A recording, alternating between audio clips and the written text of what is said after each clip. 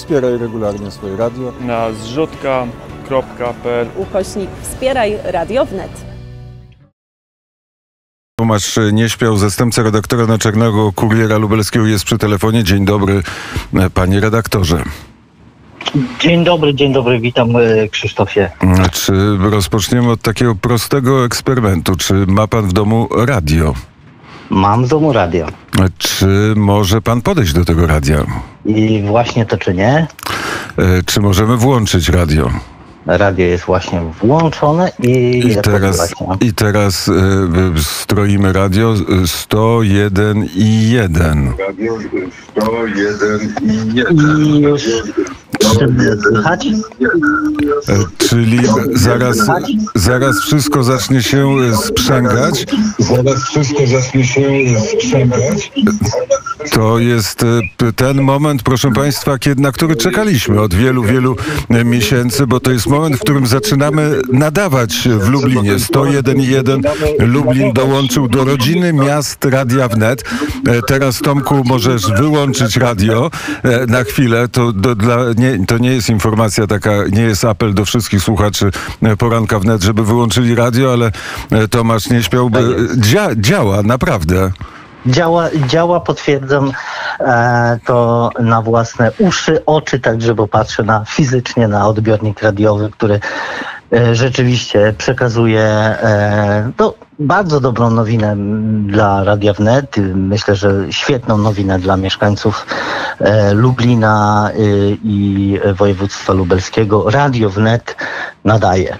101,1 Warszawa 87,8 Białystok 103,9 Szczecin 98,9 Kraków 95,2 Wrocław 96,8 Łódź 106,1 Bydgoszcz 104,4 a teraz e, Lublin. Od dzisiaj, od 16 sierpnia nadajemy w Lublinie. To powiedz Tomku, jaka jest pogoda w tym pięknym mieście. E, Dziś w Lublinie może mało wakacyjnie, bo, bo jest e, mm, pochmurnie, e, choć widzę, wyglądam przez okno, bo jeszcze jestem w domu, widzę już jakieś światełko w tunelu, delikatne przejaśnienia się pojawiają, więc myślę, że e, ten dzień nie jest stracony i, i, i powinno być dobrze, powinno być ciepło. Zresztą ciepło już e, e, jest. Rzucam okiem na termometr 21 stopni w Lublinie i nadzieja na, na ciepły dzień. Wszyscy żyjemy tym, co dzieje się z Odrą, wszyscy żyjemy tym, co dzieje się z Ukrainą, a czy jest czym, coś, czym żyje Lublin, co nie należy do tego głównego nurtu informacyjnego? Oczywiście o tych e, najważniejszych e, informacjach e, krajowych, także w lubelskich mediach, można dziś przeczytać w lubelskich mediach, to znaczy także, że o tym rozmawiają mieszkańcy Lublina. Oczywiście mieszkańcy Lublina, tak jak wszyscy, żyją przyziemnymi też e, problemami związanymi z rosnącymi cenami. W związku z tym w lubelskich mediach można przeczytać o tym, jak samorządy e, radzą sobie, żeby obniżyć mieszkańcom e, rachunki za e, choćby za e, prąd, e, ale także jakby samemu zmniejszyć takie e, rachunki, zmniejszyć zużycie energii elektrycznej. E, Dziś media opisują właśnie sposoby samorządów na, na takie e, rzeczy. My dziś w, kurierze natomiast piszemy o e, także o przyziemnych, można powiedzieć, rzeczach, a mianowicie o, o tym, że pracownicy Miejskiego Ośrodka Pomocy Rodzinie, akurat w Chełmie, chociaż problem dotyczy y, nie tylko Chełma, wywalczyli sobie podwyżki, e, na które czekali od wielu, wielu miesięcy, no ale także jest dziś w kurierze lubelskim e, na przykład informacja o tym, że w Bełżycach powstanie e, pomnik e, zapory. Trwa zbiórka e, pieniędzy. E, organizuje je Stowarzyszenie Komitet Budowy Pomnika Majora Hieronima Dekutowskiego e, zapory w Bełżycach. E, e, to jest taka organizacja, która już od lat organizuje rajd e, zapory.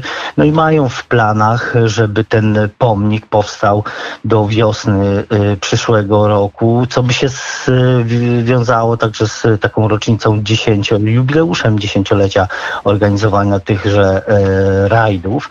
Na to liczą y, organizatorzy zbiórki, organizatorzy y, rajdu. No ale też mieliśmy, myślę, ważny weekend co roku w połowie sierpnia organizowana jest akcja, aukcja Pride of Poland w Janowie y, Podlaskim. Aukcja, na której y, sprzedawane, prezentowane są y, konie z, między innymi z naszych polskich stadnin, między innymi z Janowa i Michałowa. No i, i w tym roku także się tak to odbyło. Była aukcja, najdroższa klacz została sprzedana za 400 tysięcy euro, klacz Esmeraldia, więc organizatorzy mówią o, o sukcesie tejże aukcji, bo 14 koni za łącznie za kwotę prawie miliona 600 tysięcy euro zostało e, w niedzielę sprzedanych na aukcji. Mm, Takie rzeczy dzieją się w Lublinie i w okolicach e, Lublina. Bardzo Tomku serdecznie dziękuję za rozmowę. Zostań z Radiem Wnet 101.1. E, Za chwilę w Radiu Wnet usłyszysz głos e, Pawła Bobołowicza, e, który jest w Kijowie. W Kijowie jest też Dmytro Antoniuk. Połączymy się e, z panią Sofią Budko, która jest e, w Charkowie.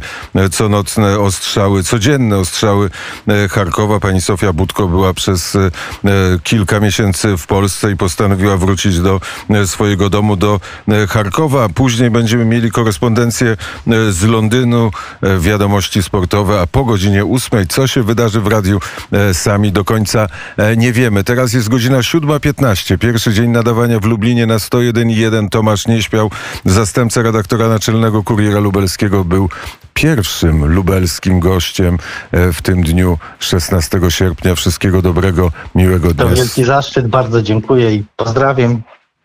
Zachęcamy wszystkich do słuchania Radia Wnet w Lublinie. A my będziemy z Kurierem Lubelskim oczywiście teraz bardziej intensywnie e, współpracować.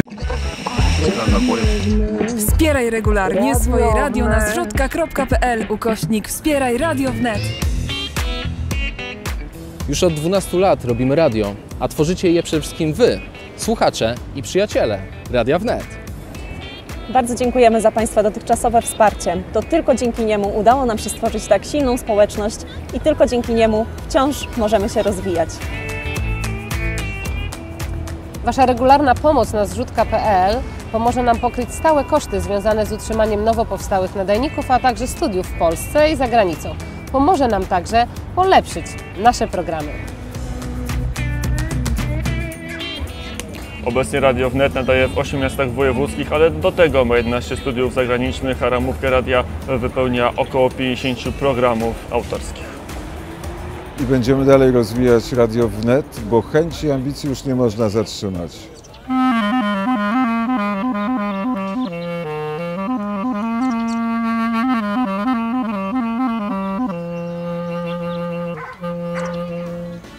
Dzięki regularnej pomocy od naszych słuchaczy będziemy mogli kontynuować główną misję radia jako źródła informacji z Polski, ze świata i z kosmosu w moich audycjach. Państwa wsparcie wzmocni w nas radość i chęć tworzenia radia i do tego przyjemność opowiadania Państwu o tym, co dzieje się w Polsce i na świecie. Dołącz do tych, którym bliska jest idea Radia Wnet. I wspieraj regularnie swoje radio. Na zrzutka.pl Ukośnik Wspieraj Radio Wnet.